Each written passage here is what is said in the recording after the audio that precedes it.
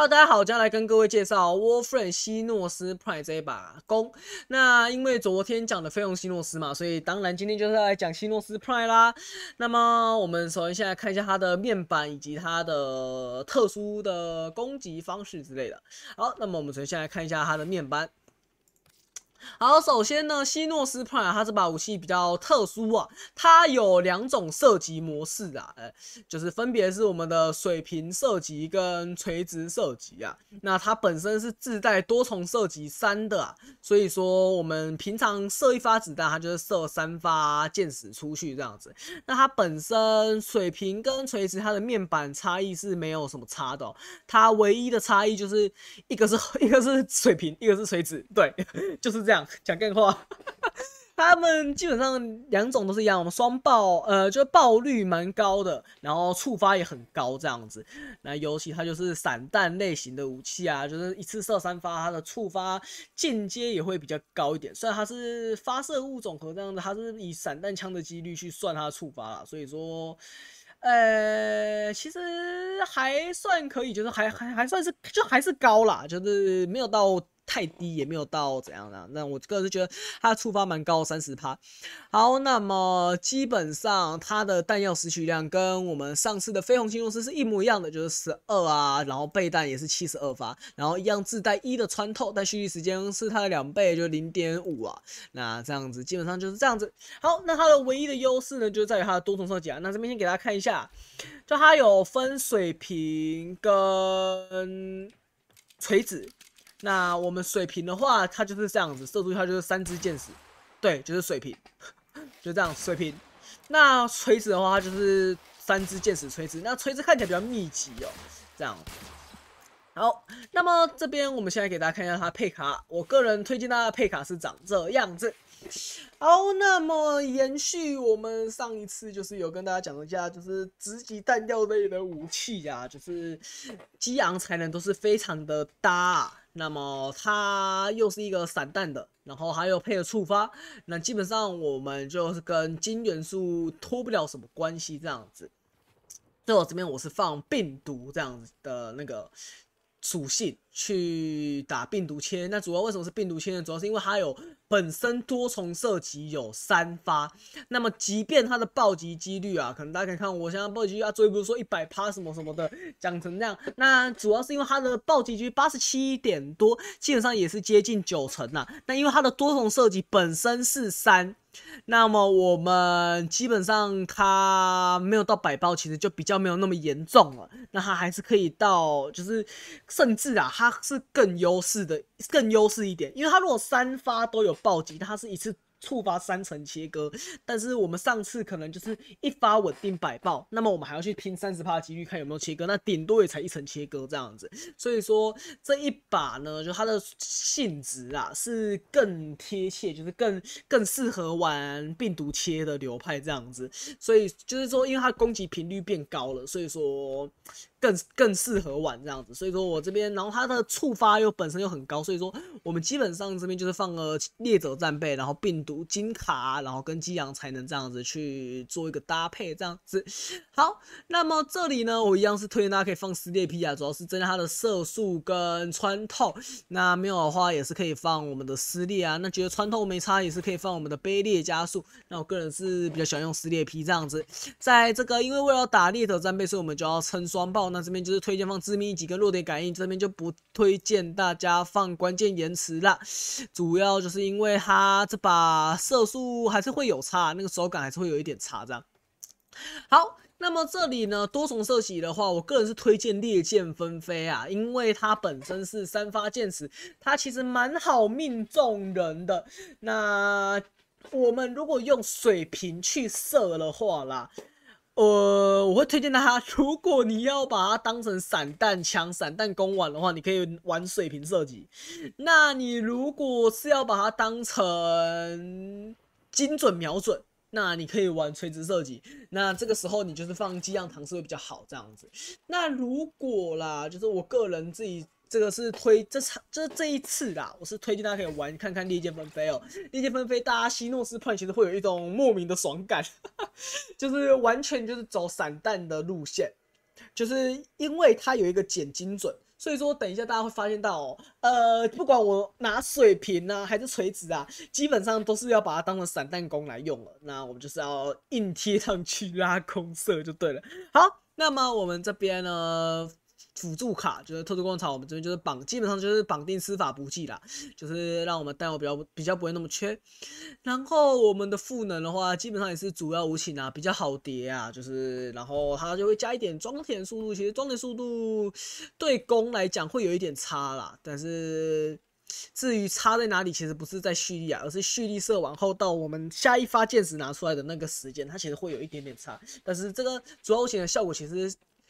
有一点点的不太会发现，不太会注意到这样子。好，那么我接下来就来给大家看一下它的效果啦。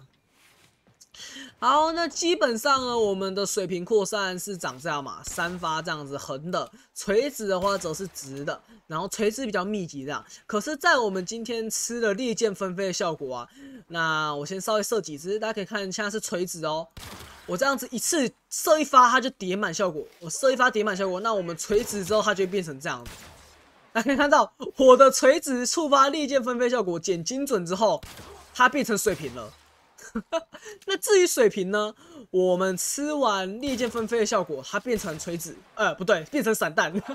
它连它也没有到垂直，它就是散弹。那我个人是比较推荐这个玩法，可以拿着水平模式一路射到尾。就是变得非常的痛胀。那基本上大家，因为它一次射三发，所以我们是可以，呃，直接把利剑纷飞效果吃好吃满，就一次吃很多层，然后可能射两两发，它就已经预热完成了。那像大家看，我刚刚稍微射一射，其实它就已经半条血不见了。那基本上我们可以这样子一直射，然后一个散弹，大家看一个散弹上去，他们就没了。我们基本上就这样射一发，然后一个散弹。然后再看到那个切割，那个病毒叠了一瞬间叠七层。那切割的话就随缘吧，毕竟非洲就 就就是非洲，就是叠不太进，叠不太到这样。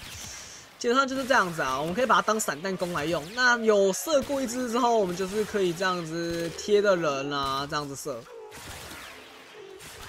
我们需要一只怪先烧等级，那它伤害是超级够啦，绝对足够哦，差一点，其他都差一点，这些都差一点点。那我们就是要持续作战就是了啦，然后想办法把烈剑纷飞的效果保持着它的效果这样子。那如果面对一群怪，觉得那个可能不太好贴近，不太好近身的话，那其实也是用垂直那个把它变得比较扩散一点的散弹枪来用。好，那么接下来就让我们去看一下它的实战啦。好了，那么现在让我们来到我们最熟悉的虚空钢刃界面啊。那接下来就给大家看一下希诺斯 P 这一套配置在实战中效果大概是如何。好，那基本上我们第一只怪就是我们的牺牲品，应该说我们看到每次看到新的怪啦，我们基本上两发，呃，好，有点尴尬，护盾护盾除外，基本上是可以一发到两发就可以把它弄掉。基本上你有吃到利剑纷飞的效果。哎，等下，这这是奇迹啊！一个切割都没中，哎，哇！非洲小碗小王冠名不虚传，一个切割都没中，连我都不知道发生什么事了。刚刚是怎么回事？怎么怎么会一一个切割都没中呢？明明那么多发箭矢射出去，一个切割都没中。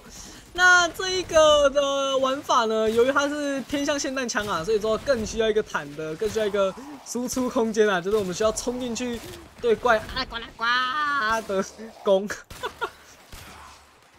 那如果你要站远远射的话，那倒是推它可以用锤子啊。锤子的话，我们就是可以远远的射，这样子一次射很多这样子。不过缺点也比较明显啊，就是我们如果射很远的话，我们就是伤害会分散这样子。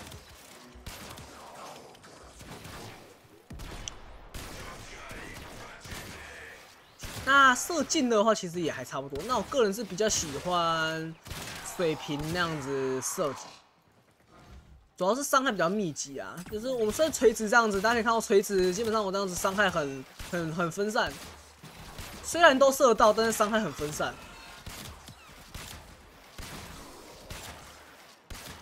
然后我们弹药量可能就会消耗比较多。其实其实副人叠起来伤害是够的。哦哦，这这射一排都好爽。一堆数字跳，这写的蛮爽的。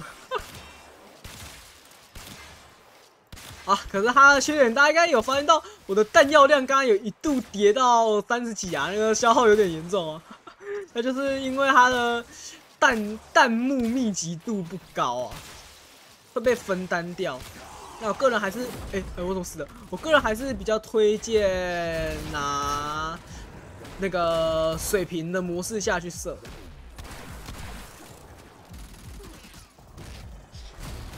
就单纯把它当散弹枪用，直接把它当散弹枪用，像这样水平，然后直接射，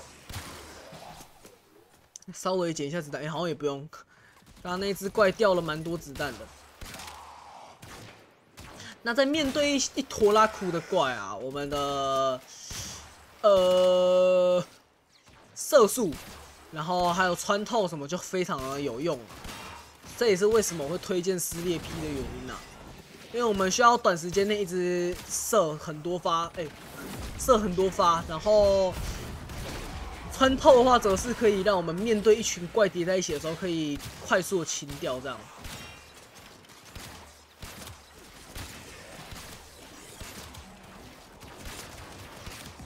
那我们远方射的话，可能不太好啦，不太好用。配烈剑纷飞的话，不过如果各位是放激昂唐式的话，那其实还好，还不错。它也是它也是可以远程弄，只是说放激昂唐式的话，我就会推荐大家是用垂直去射啊，一次射三发这样子会比较痛。哦，对，然后这边跟大家稍微的讲一下，就是希诺斯 Prime 它其实有一个小隐藏的被动，那就是它的额它的爆头伤害啦。会有额外的五十趴，这个比较特殊一点啊，平常可能不会去注意到。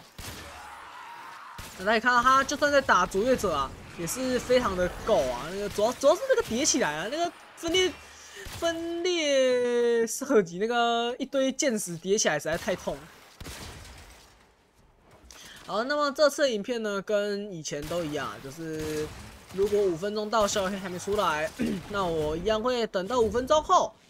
就是小黑出来的时候，给大家看一下这把武器啊，这打小黑的效果大概是如何。我还可以可以可以利用掩体，这穿透射过去，哎，射过去。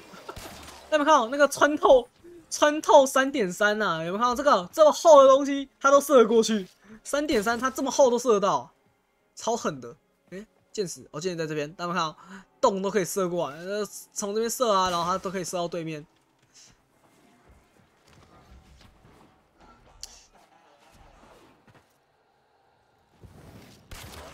啊，那这边有一坨怪的话，我们就直接射这样。好，那小黑也很应景的刚好出来，要跟我们交流交流一番了。那我们稍微的清一下怪，尽量不要让他们在我们等下战斗中烦我们。好，然后小黑出来就直接对着他脸上就是散弹枪。好，你看散弹枪其实伤害是也还不错啦，就是跟哎哎，呃。呃，好吧，基本上它跟绯红希诺斯的伤害其实会有一点接近啊。那主要的原因是因为小小黑它身上会有限制触发的效果啊，所以说我们的切割没办法抵到那么多层。那这一把弓啊，就是配烈箭纷飞，它的优势啊，就是因为它的箭矢的数量多，所以说它的切割会比较多层。所以说我们平常打小怪会。变得比绯红希诺斯伤害还要来的痛这样子，然后我们呃，由于又是装利剑纷飞，不是放激昂多激昂唐唐式什么的，所以说我们在死掉复活，我们需要或者是我们一开场需要暖机的时间会比较少这样子。就是我们就算不特特别的有机伤，我们就算没有那个什么赋能啊，就算没有那个。呃，激昂才能的效果，我们也是可以打出蛮多的伤害，然后去杀怪这样。来看哦，这个卓越者基本上叠起来了，是一可以一发秒掉，跟那个飞鸿希诺斯不太一样哦。飞鸿希飞鸿希诺斯，我们虽然叠起来，还是需要一下下时间去把它打死这样。那散弹枪的武器啊。跟弓箭武器跟单发武器的通病就是，我们需要贴近，很容易死。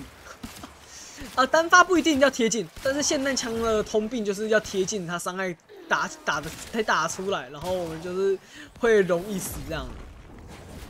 不过有一些范围武范围攻击的那种霰弹枪，像什么幻离子那些倒是例外。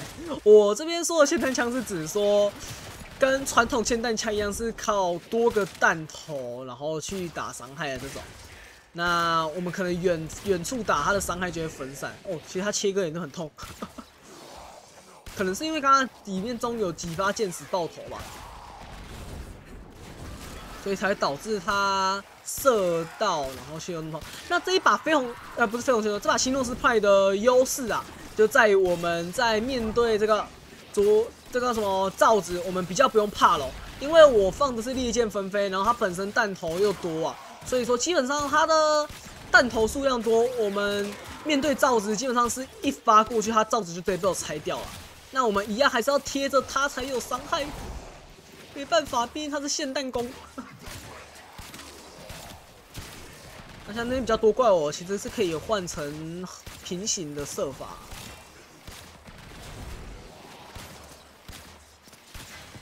大家看护盾还是要拆一下子哦，拆完才行。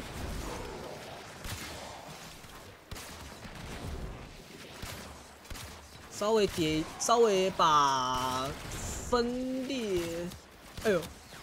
附近有那个减伤九十趴的卓越者，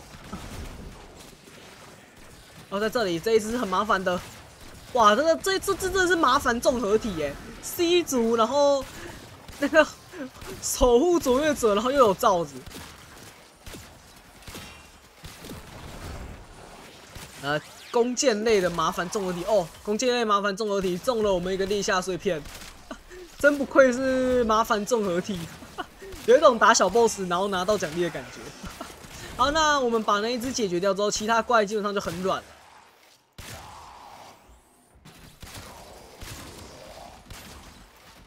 哎哎哎！最后还是暴毙了。